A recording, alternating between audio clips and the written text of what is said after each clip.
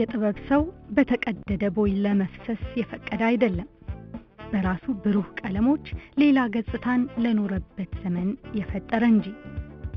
አቀናባሪ ነውና በብዛት ከሙዚቀኞች ጀርባ እንደሆነ ቢታሰብም ባልተለመደ መልኩ ስሙ ከሙዚቃ እኩል የሚናፈቅ መጠሪያ ሆነዋል። ኤልያስ መልካ። ኤልያስ ወደ መድረክ እየጠየቁ ነው። ምናልባት እንድትተዋወቃችሁ ፈልገው ሊሆን ይችላል። እዚህ መድረክ ላይ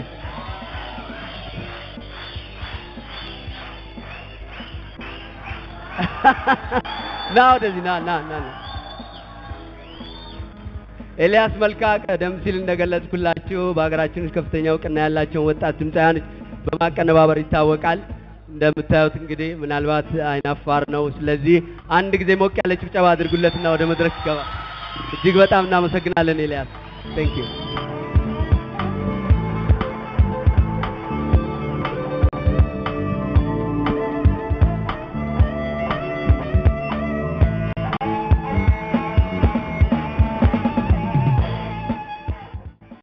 በጠንካራ አቋሙና ሙሉ ሕይወቱን በሰጠላቸው ስራዎቹ አዲስ የሙዚቃ ዘመንን ፈጥሯል።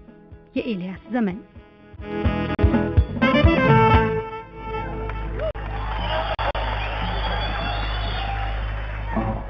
ኤልያስ መልካ ከ1990ዎቹ ጀምሮ ለኢትዮጵያ የሙዚቃ ታሪክ አዲስ የመታጠፊያ መንገድን ከፍቷል። የእሱ የስራ ቀለሞች ተለይተው የሚያንጸባርቁ ነበሩ። የኢትዮጵያ ዘመናዊ ሙዚቃን ከምት አንድ አይነትነትና ከሀሳብ ተደጋጋሚነት አላቆ የፈጠራ ስራዎችን አስፍኗል። ኤልያስ ሁሌም አዳዲስ ነገር የሚፈልግ ነው። ጠያቂነቱ እዛ ድረስ ይወስደዋል።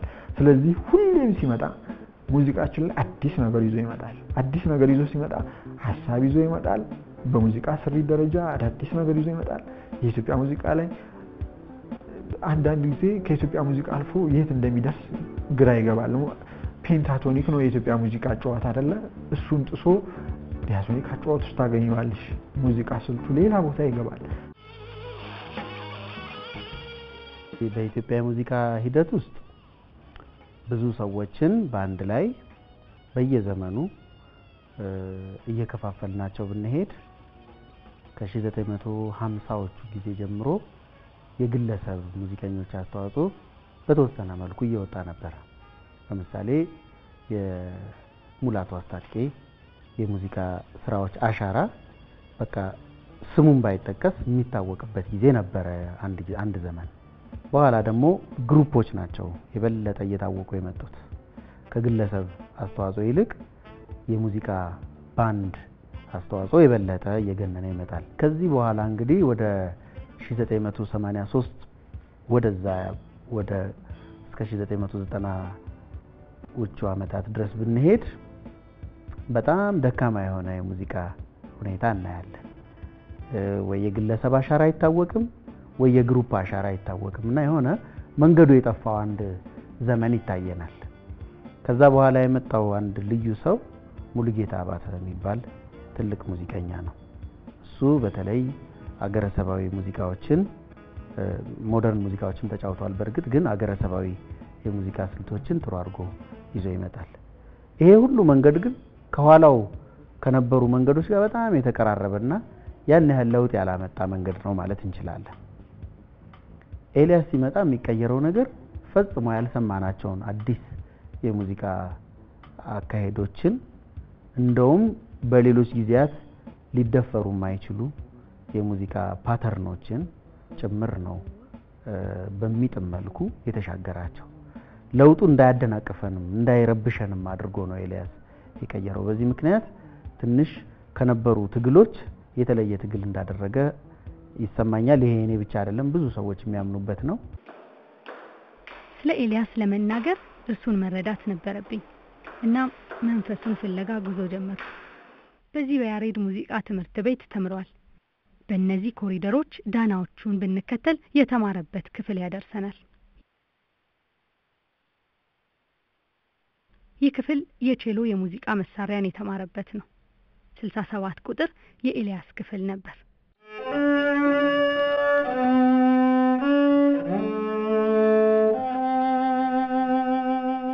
አቶ ገዛኸኝ የኤልያስ መልካ የቼሎ መምህር ናቸው። ሙዚቃን ለውስጣዊ ፍቅሩ ሲል ብቻ የሚማር የተለየ ተማሪ እንደነበረ ይናገራሉ። ኤልያስ ሲጀምር ፍላጎቱም ነበረው እና የምሰጠውን ትምህርት ያው በሳምንት ሶስት ቀን እንዳለው ፕሮግራም የታወቀ ነው። ማንኛውም ተማሪ መደበኛው ተማሪ ሲገባ ብቻውን ነው እኔ ጋ ብሎ በአጠቃላይ አይደሉም። ትምህርት አቀባበሉም ኤልያስ የተለየ ነበር። እንግዲህ ከሁሉ ካስተማርኩት ውስጥ ኤልያስ የራሱ ስሜት ሌላው ማዳመጥ አይፈልግም፣ አይሰማም። እንዳየሁት እንደተመለከቱ እንደተከታተልኩት ኤልያስ ህልሙ ልዕልና ነው። ራሱን ብቻ አይደለም ትውልዱን በጥበብ ከፍ ሊያደርግ ተግቷል። ግሩም ዘነበ ትልቁ ተዋናይ ያለውን አንድ የእሱን ጥቅስ ልዋስለት ደጋግሜ ተናግሬዋለሁ፣ ግን ዛሬም በደግሞ ደስ ይለኛል። ግሩም የሚለው ምንድን ነው? የትውልዳችንን ክስ የሰረዘ የሰረዘልን ኤልያስ መልካ ነው በሙዚቃ በኩል ይላል። ምን ሙዚቃ አፈር በላ አፈር ድሜ ጋጠ በሚባልበት ጊዜ ደ ኤልያስስ ብለን እሱም ምርኩዝ አድርገን እንድንቆም ምክንያት የሆነን ልጅ ነው። እንዲህ አይነት ሰው ቶሎ ማግኘት ይቸግራል። በዘመንሽ በሁሉም ዘርፍ ብትሄጂ ቶሎ አታገኝም። ሙዚቃ ግን የታደለች ነበረች፣ ኤልያስን አግኝታለች ነው የሚለው። በደንብ የገለጸው ነው። እስማማበታለሁ ይሄንን ስኬታማነቱ የታየው ገና በበኩር ስራው ነበር።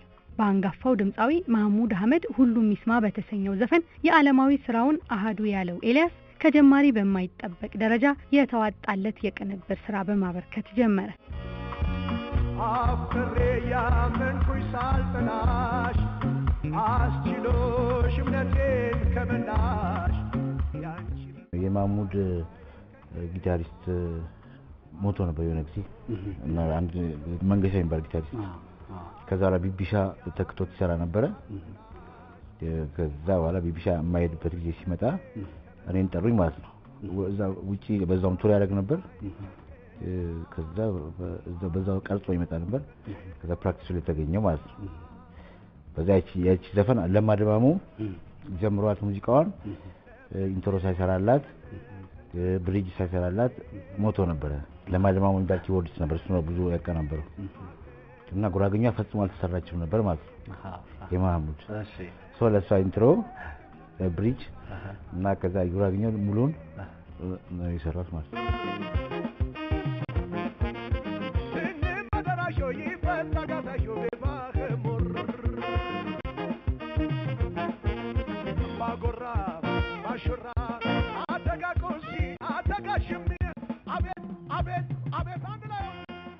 በአዲስ አበባ አብነት አካባቢ ተወልዶ ያደገው ኤልያስ መልካ ከሙዚቃ ጋር ቁርኝቱን የጀመረው ገና በለጋነቱ እንደነበር ይነገራል። ለሃይማኖታዊ መዝሙሮች ቅርብ መሆኑ በተለይ ጊታርን ለመልመድ እድል ፈጥሮለታል። ይህ የሙዚቃ ፍቅሩን በሙያነት ለማዳበር በያሬድ የሙዚቃ ትምህርት ቤት የጀመረውን ትምህርት አጠናቆ በቼሎ ሜጀር ተመርቋል። በኋላም ኤልያስ ድምፃውያን ከማጀብ ጀምሮ በጽዮን መንፈሳዊ የሙዚቃ ባንድ፣ መዲና ባንድ፣ 3M ባንድ ዜማ ላስታስ እንዲሁም አፍሮ ሳውንድ ባንድ ተጫውቷል። በሙሉ ስራ ደረጃ ደግሞ የኤልያስ የመጀመሪያው የነበረው የቴዲ አፍሮ አቡጊዳ የተሰኘው አልበም በፍጹም የመጀመሪያ ስራው ነው ብሎ ለመቀበል ያዳግታል።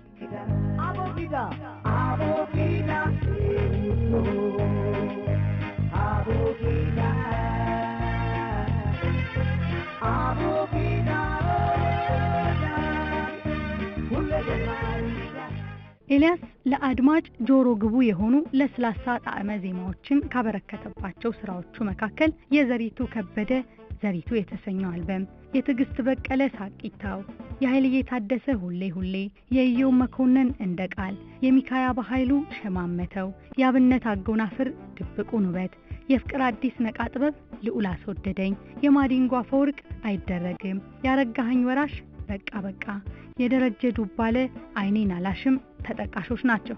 በአጠቃላይ ኤልያስ በ43 ዓመት ዕድሜው ከ40 በላይ ሙሉ አልበሞችን በቁጥር ደረጃ ደግሞ ከአራት መቶ የሚልቁ ስራዎችን በሚገርም የተደማጭነት ደረጃ ሰርቶ ያለፈ የዘመን ክስተት ነው።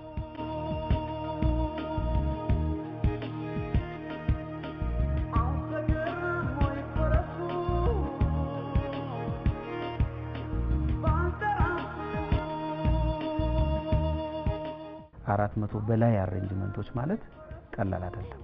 አንድ ሰው በኤልያስ እድሜ ይሄን አይጨርስም።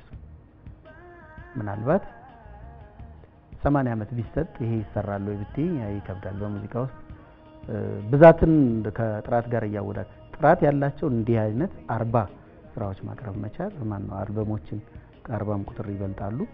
በግሩፕም የተሰሩ አልበሞች ስላሉ እነዚህን መስራት በጣም ትልቅ ኃላፊነት ይመስለኛል፣ ትልቅ መሰጠት ይመስለኛል እና ብዙ ናቸው ስራዎቹ። እንደ ጊዜ መፍጀቱ አይደለም። ብዙም ስራ produce አድርጓል። በጣም ቀላል የሆኑ ሙዚቃዎች ለሁሉም ሰው ሊገባ የሚችል ቀላል ማቅለል ግን ሲባል ከህግ አውጥተን ተራ ነገር ማድረግ አይደለም። ቀላልነትና ተራነት በጣም ይለያል። በጣም simple የሆነ ማለት ለምሳሌ እንደዚያውም በቋንቋ እንኳን እያወራን በጣም ትልቅን ሀሳብ ቀለል ባለ መንገድ ማቅረብ ይቻላል። እንደውም አንድ ሰው ጎበዝ አስተማሪ ነው፣ ጎበዝ ተናጋሪ ነው የሚባለው ትልቅን ሀሳብ ሁሉም ሰው ሊረዳው በሚችል መንገድ ማቅረብ መቻል። ይሄ ይሄ አንደኛው ነገሩ ነበረ። በጣም ቀለል ባለ መንገድ መስራት ኤልያስ መልካ ጸሐፊም ነበር። በቅንብሩ የነበረውን ብቃት በዜማና ግጥም ችሎታው ደግሞታል። የድርሰቶቹ ልዩነት የፍልስፍናውን ከፍታ ይነግረናል። ኤልያስ ከራሱ ሂደት ከ recording ኦቹ ውጤት በየጊዜው ራሱን የሚተች ሰው ነው ነበረ። ይህን ቀደም ሲል ዜማዎች መጥተውለት በሚሰራበት ጊዜ ዜማዎቹን የማቃናት ቃላቸው እንዳይተርፍ የማድረግ musical pattern ኦች ውስጥ perfect ሆነው እንዲ- እንዲሰካኩ ለማድረግ ቮካሊስቱ እንዳይቸግረው ለማድረግ ነበር ይጥር የነበረው። በመሀል ግን የአንዳንድ ሙዚቃዎች ከሱ ስቱዲዮ የሚወጡ ሙዚቃዎች መልእክት ሰዎች ዘንድ መጥፎ ስሜት ፈጥረው አገኘ። ይሄን ራሱ የነገረኝን ነው የምነግርሽ። ስለዚህ አሁን ቁጭ ብዬ ስለ ግጥምም ማሰብ አለብኝ አለ። ስለዚህ ደራሲዎቹን ጠርቶ ሀሳቡ ይሄ ቢሆን ብሎ የመስጠት ሀሳቡንም አብሮ ሼፕ የማድረግ ስራ ለመስራት ሞከረ መጀመሪያ አካባቢ ላይ ግን ያም ብዙ በሚፈልገው ልክ አልተደሰተበትም። ገጣሚዎቹ ጥሩ ገጣሚዎች ቢሆኑ musical form ኡ ላይ ደግሞ lack የሚያደርጉት ነገር አለ ወይም የሚያንሳቸው ነገር አለ እና በሚያስበው ልክ ግጥሙን አይጽፉት። ስለዚህ ለምን እኔው አልሞክረውም ብሎ ግጥሞችን መጻፍ ጀመረ። ሲጽፍ ግን ኤልያስ አያውቀውም ነበር ብዬ በምገምተው ሁኔታ በጣም ጥሩ ገጣሚ ነው።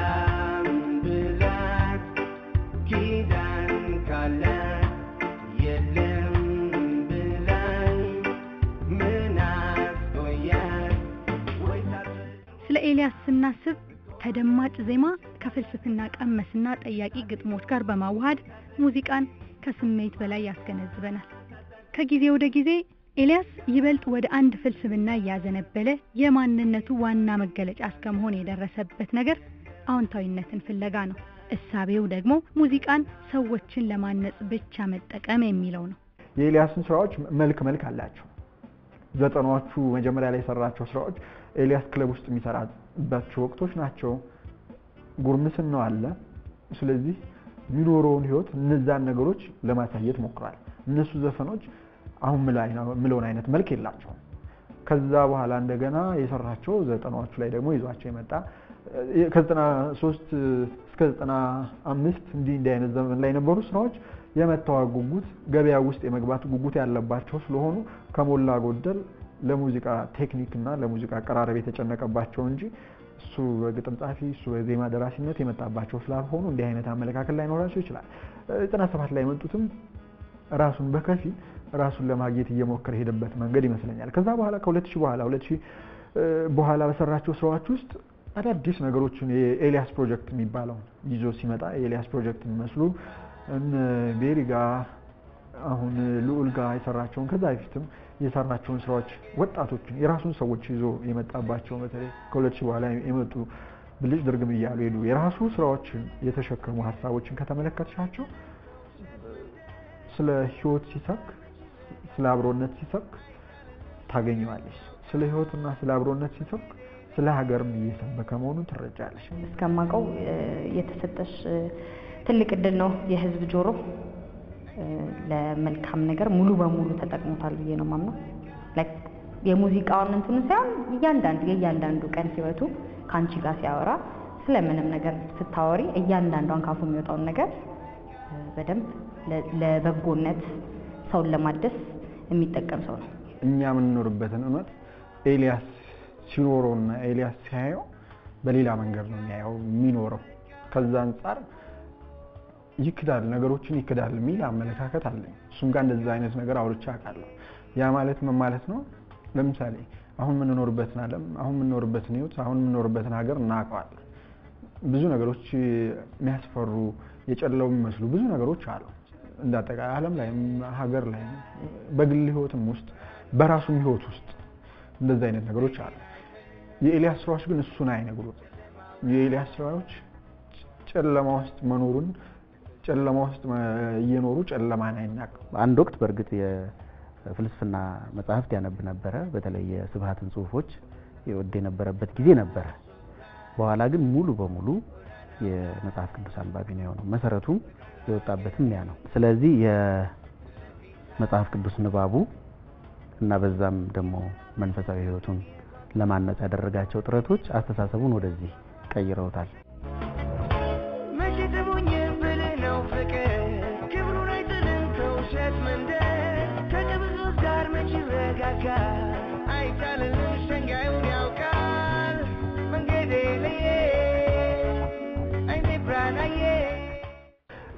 በዓሉ ግርማ ከአድማስ ባሻገርን ሲጽፍ እና ልብ ወለዱን ካየሽው ከሞላ ጎደል በጣም አሳዛኝ የሚባል ያበራ ህይወትን የምናይበት ነው። መጨረሻ ላይ ግን በዓሉ ልብ ወለዱን በእንደዛ አይዘጋው።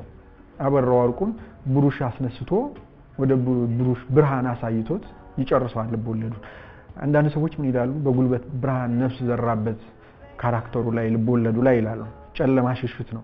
ኤልያስ የኤልያስን ክህደት ጨለማን ይሸሻል። ኤልያስ ዝናብ ዶፍ እየወረደ ማለት እየመጣ ፀሐይ የሚሞቅ ሰው አለ አይደለ ወይ? ሌላ ነገርን ፈልጎ አይ እንደዛ ሳይሆን ይሄ ነው ብሎ የሚያምን ሰው ነው እና ክህደቱ ከጨለማ ጋር ነው። ግን እኔ ጨለማ ውስጥ እየኖርኩ ለምን ጨለማ ውስጥ እየኖርኩ ነው ብዬ ማምነውን ሰው ትክደኛለህ ብዬ ተከራክሬው አላቃቃለሁ። የእሱ አካሄድ በኋላ ትክክል ሲሆን ገረመኝና እንደውም ክህደቱ በጣም ደስ ይላል ሰውን ለማስተማር የተሰጠንን መድረክ እንጠቀምበት የሚል አቋም አለው። በዛ አቋም ደግሞ በጣም አምኜበት ነው ወደ ኤልያስ ሜዳ የሄድኩት። ምክንያቱም መጀመሪያ እኔ አልበም እንድሰራ ያነሳሳኝ አልበም የኢዮብ አልበም ነበር። እየቆየ ምን ያህል እንደሚያግዝ ምን ያህል በጣም እንደሚመክር ሲገባኝ እኔም ይሄንን ነገር ነው ለህዝብ ማድረግ የምፈልገው። ሲሰማ የሚያስተምር ሲሰማ የሚለውጥ የሚያንጽ የሚያጽናና እንጂ ላይ በሌላ መልኩ አይደለም። በሌላ መልኩ ደግሞ ብዙ አለ፣ ብዙ ዘፋኝ አለ። ብዙም ይሄንን በዚህ መልክ ነው ስለመረጥኩኝ እሱም እንደሱ አይነት አስተሳሰብ ስላለው ነው ሞር እንትናችን አሪፍ የሆነው ማለት ነው።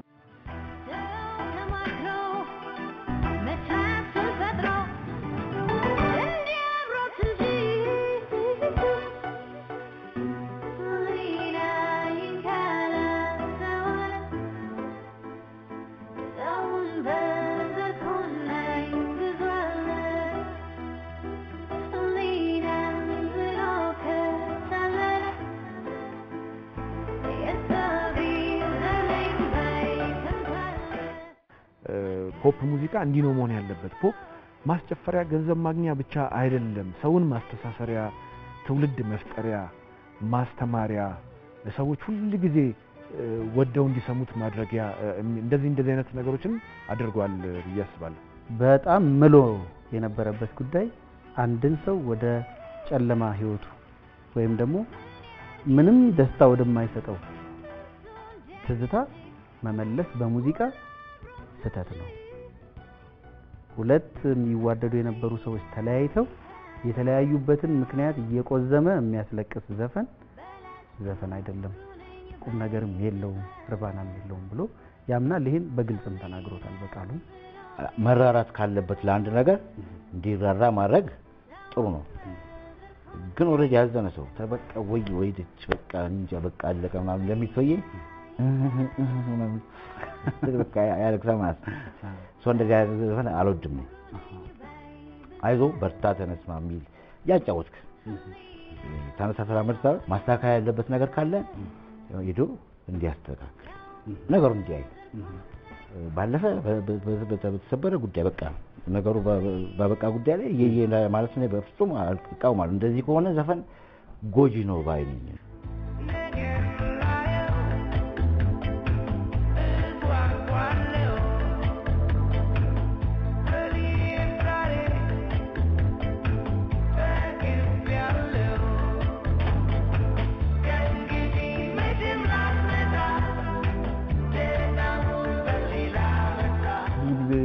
ኢትዮጵያዊ ፈላስፋ የምንለው ዘርዓ ያዕቆብ ነው። የዘርዓ ያዕቆብ ፍልስፍና አንዱና ትልቁ አስገራሚ ነገር ተብሎ የሚታሰበው በፈጣሪና በሰው መካከል ሌላ አካል የለም የሚል ትልቅ ፍልስፍና ያለው ፈረንጆች በጣም ብዙ አድንቀው የጻፉለት ፍልስፍና። ያ ማለት በሰውና በሰውና በፈጣሪ መሀል ሌላ አካል የለም የሚል አመለካከት ሃይማኖትን ይንዳል።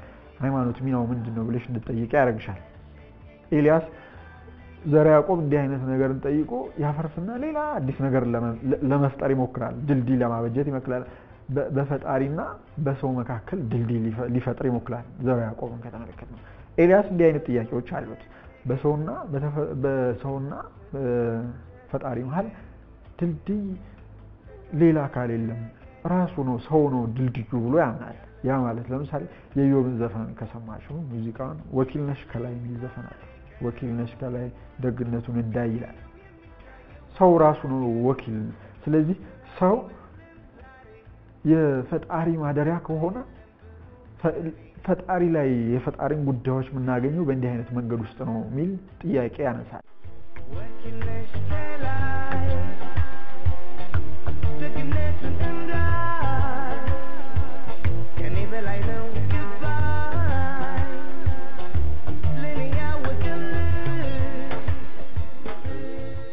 ሌላው የመዝሙርና የሴኩላርና የዓለማ- የዓለማዊና የመንፈሳዊው ዓለም ጠብ ዘፈን ላይ አለ አይደለ? እሱ በዘፈን ዘመሩ፣ በመዝሙር ደግሞ ዘፈኑ ብሎ ደግሞ አለዋውጦ አምጥቶ ሁለቱም የስሜት ጉዳይ የእውነትን የማወቅ ጉዳይ ናቸው እንጂ መዝሙር ብሎ መዝፈን ይቻላል፣ ዘፈን ብሎ ደግሞ መዘመር ይቻላል። እንዲህ አይነት ጥፋትም ሊሰራ ይችላል በሚል ደግሞ የቤሪ ዘፈን ላይ ደግሞ የሚያመጣው ሙግት አለ። እነዚህ ሁሉ ሙግቶች ከአስተሳሰቡ ከመንፈሳዊ እውቀቱ ከፍልስፍና የሚመነጩ ናቸው።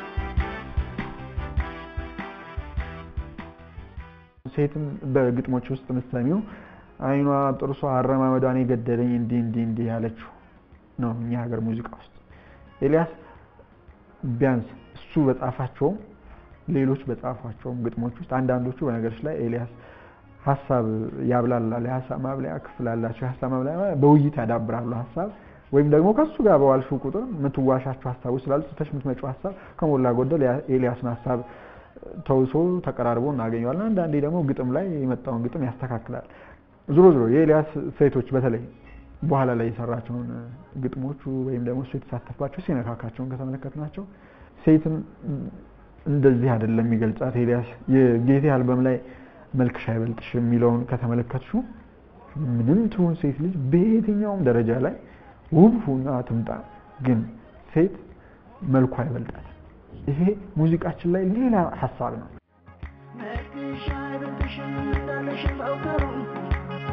አንቺ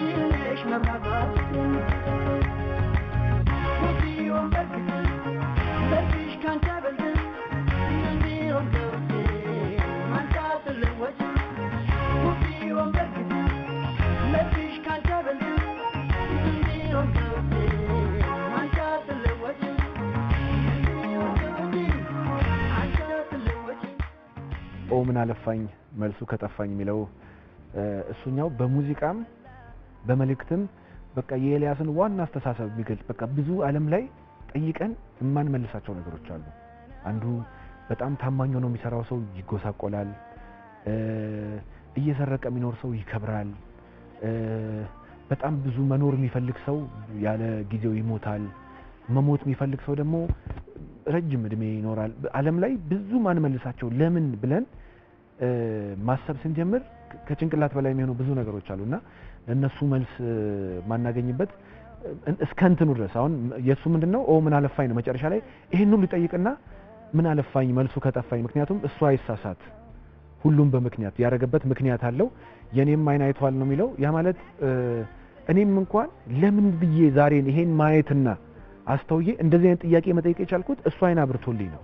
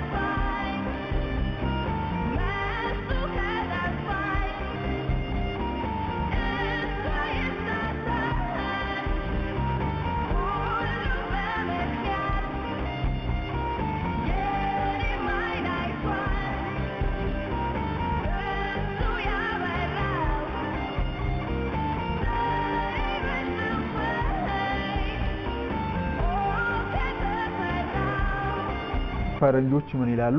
በዝግመተ ለውጥ ነው የሰው ልጅ የመጣው ብሎ ያምናል። ስለዚህ ኤልያስ ደግሞ አይደለም እንደዛ ሳይሆን ሔዋንም ሐዋም ሰው ነበሩ ብሎ ለመከራከር ይሞክራል። በጸፋ መልእክት በዛ ደረጃ ይዞ ለመምጣት ይሞክራል። ይሄንን ፍልስፍናውን፣ ይሄንን ጠያቂነቱን፣ ይሄን መከራከሪያውን ህይወት ውስጥ ታገኘዋለች።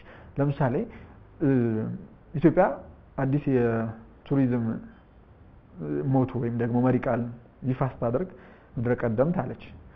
ኤልያስ ፈረንጆች ምድረ ቀደምት የሚረዱበት land of origin የሚረዱበት መንገድ ትክክል አይደለም። እነሱ የሰው ልጅ በዝግመተ ለውጥ የመጣ ነው ብሎ የሚያምን ናቸው። ስለዚህ እኛ ዝግመተ ለውጥ ውስጥ የመጣ ማህበረሰብ ናቸው ተብለን የምንገለጽ ከሆነና እኛ ምድረ ቀደምት ነን ብለን በዓለም ፊት ምንቆም ከሆነ የዝግመተ ለውጡን ያልጨረሰ ማህበረሰብ መገኛ ኢትዮጵያ ናት፣ ኑ ተመልከቱ ብለን እየተከራከርን ነው እና እንዲህ አይነት ስህተት መስራት የለብንም ብሎ ይከራከራል። ከዘፈኑ ሀሳብ ይዋሳል፣ ከኑሮው ለዘፈኑ ደግሞ የሚለግሳቸው ነገሮች አሉ። እንግዲህ የመናገር ነጻነት አይደለም፣ ሀሳብ መግለጽ so ይሄ ነገር አሁን ሁሉንም መብት መጠየቅ አለበት። ኢትዮጵያ land of origin ምናምን እያልክ አሁን እንደዚህ ነገር ሲሆን ሁላችን ይመለከተናል። ብሔራዊ ቡድን ሉሲ እያልክ ሌላ ሰው ዝንጀሮ ሲባል ይናደዳል። ኢትዮጵያ ነኝ አንደኛ ምርጫው ሀገር እና ይሄ ነገር መብቴ ነው እንደ ዜግነት ደግሞ መጠየቅ አለበት። ለዚህ የብስለት ከፍታው ከስራዎቹ ነጥረው የወጡ አልበሞች አሉ። በተለይ የዘሪቱ ከበደ፣ የኢዮብ መኮንንና የቤሪ ኃይለማርያም አልበሞች ደማቆቹ ናቸው። ነፃ ነኘታለ መረን ጨርቅ አስጥሎ ካስኮለነ ኋላ ግን ሊያስመታ ባጎ ምክር ከሕይወት ያስወጣ እንደ እምባባሽ እንደ ልብ አድራሽ እንደ ሐኪም ፈዋሽ ልክ እንደ ቅን ወዳጅ ነኝ ባይላንቺ ሟች ካጉል መብት አንጓች ልልነቃው ምክሩ ካለፈው ሰው ከሚያከንፈው የቤሪ ከምን ነፃ ልውጣ? ነፃ መውጣት ምንድን ነው? አሁን የኛ ማህበረሰብ ነፃነት ይፈልጋል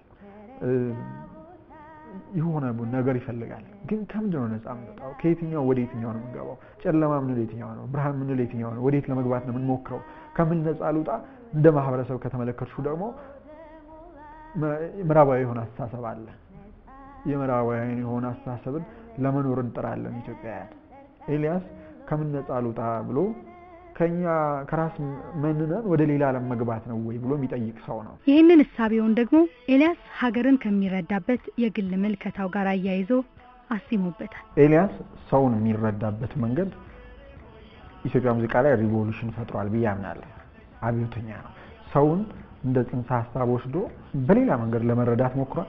ሰውን አንድ ሙዚቃ ልንገርሽ፣ ለምሳሌ ልዑል ኃይሉ ለመጨረሻ ጊዜ አሁን እሳቱ ሰዓትን የሰራለት አዲስ የለቀቀለት አልበም ላይ እዛ ላይ ስለ ሀገር የሰራው ስራ አለ ኤልያስ። እሱን ዘፈን ምናልባት የሰማ ሰው በቀላሉ የሚረዳ ይመስለኛል። አንቺ ነሽ አካሌ ይላል የዘፈኑ ርዕስ።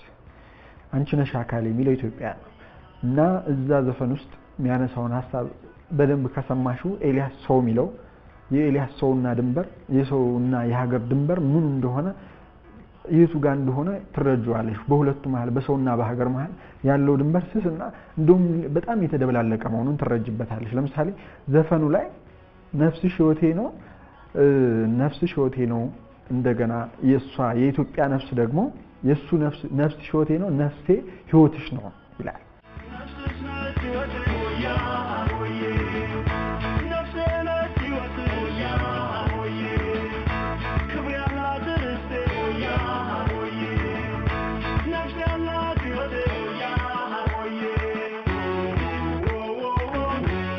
የኢትዮጵያ ሙዚቃ for the last ለመቶ ዓመት ያህል የመቶ ዓመት የሙዚቃ ታሪካችንን ካየ ነው ሀገር ምን ማለት ነው? ኢትዮጵያ ሀገሬ ለምለሙ ተራራ ሸለቆ ነው። የኢትዮጵያ ሙዚቃ ተራራ ነው ሀገርን የሚያነሳው፣ ወንዙን ነው የሚያነሳው። እሱን አይደለም ሀገር የሚለው ሰው የሰው ህይወት ውስጥ ሰው ነፍስ ውስጥ ያለውን ነው ሀገር ብሎ ኤልያስ የሚከራከርበት እሱ- እሱ- እሱን ሲያነሳ የሀሳብ ልዕልናው የሀሳብ ርቀቱ ይገርማል። በፍልስፍና ደረጃ የኢትዮጵያ ሙዚቃ ላይ ሰውነትን ሀገርን ጽንሰ ሀሳብ አድርጎ በፍልስፍና ደረጃ ይዟቸው መጥቷል። ከዛ በፊት የነበረውን እንደገና አፍርሶ redefine ማድረግ በአዲስ መንገድ ለመበየን መሞከር ነው እና ተስፈኝነቱ፣ አብሮነቱ፣ ቤተሰባዊነትን መስበኩ፣ አለመነጣጠልን መናገሩ የመጨረሻ ግቡ የሀገር ጉዳይ ነው። ስለዚህ ሀገር የሚረዳበት እንዲህ አይነት ነገሮች በጣም የተለዩ ነበሩ። ዋሻም አይደለም ዳስ ተራራ አንቺው ነሽ አገሬ